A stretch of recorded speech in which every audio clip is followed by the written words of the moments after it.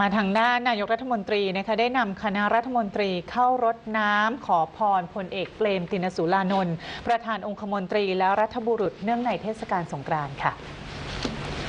พลเอกประยุทธ์จันโอชานายกรัฐมนตรี พร้อมด้วยคณะรัฐมนตรี และผู้บัญชาการทหารตำรวจ และข้าราชการชั้นผู้ใหญ่ เดินทางเข้ารดน้ำขอพรพลเอกเปรมตินสุรานนท์ประธานองคมนตรีและรัฐบุรุษ เนื่องในเทศกาลสงกรานต์โดยพลเอกประยุทธ์กล่าวว่าขอถือโอกาสนี้ขอพรจากประธานองคมนตรี ตลอดระยะเวลาที่ผ่านมายาวนานพลเอกเปรมเป็นแบบอย่างในความจงรักภักดี ซื่อสัตย์ขยันและอดทนทำงานเพื่อชาติศาสตร์กษัตริย์ และประชาชนเสมอมา จนเกิดประโยชน์มากมาย เพื่อตอบแทนคุณแผ่นดิน จึงขอยืนยันว่าจะทำหน้าที่และทำตนให้เป็นคนดี เป็นประโยชน์ และเป็นคนที่มีคุณธรรม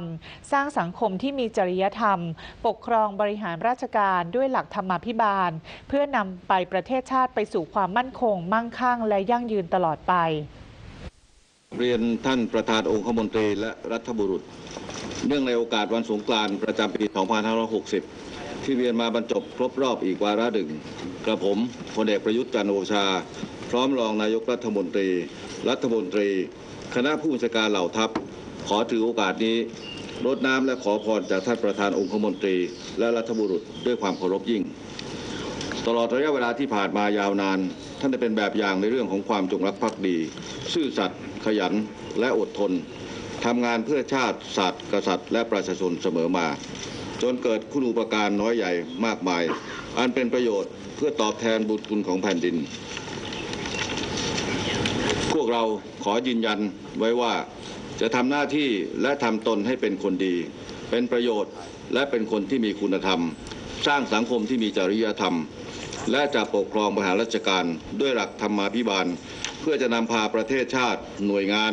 สู่ความมั่นคง มั่งคั่ง และยั่งยืนตลอดไป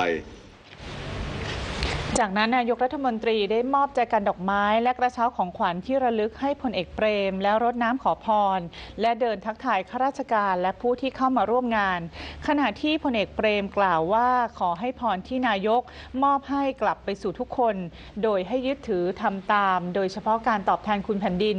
ซึ่งการที่นายกและทุกคนมาในวันนี้ ถือว่าเป็นความพร้อมเพรียงที่ทำเพื่อชาติ เป็นไปตามความมุ่งมั่นปรารถนาจนประสบความสำเร็จ เหมือนเพลงที่นายกเขียนไว้ว่า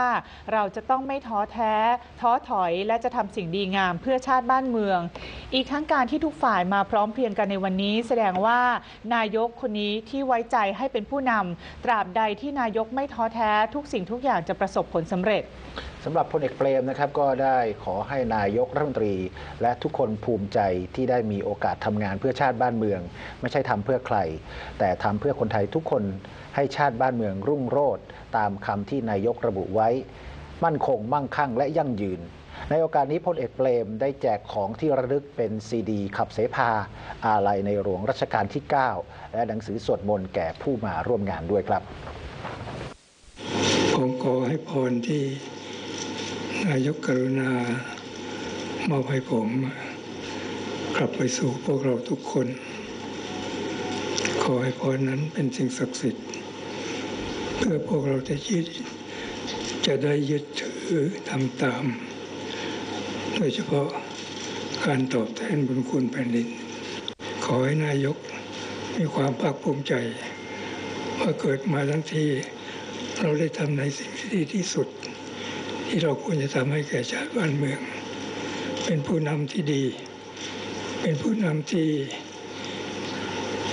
สร้างความเชื่อมั่นให้คนในชาติของเรา ว่ารัฐบาลนี้นายกคนนี้พอปลทัพเหล่านี้ จะมีอย่างเดียวที่ทำคือนำความสุขกลับมาให้คนไทย ก็ขออวยพรในความตั้งใจมุ่งมั่นปรารถนาอย่างแรงกล้าของนายก ได้ประสบผลสำเร็จ ตามที่นายกมุ่งมั่นปรารถนา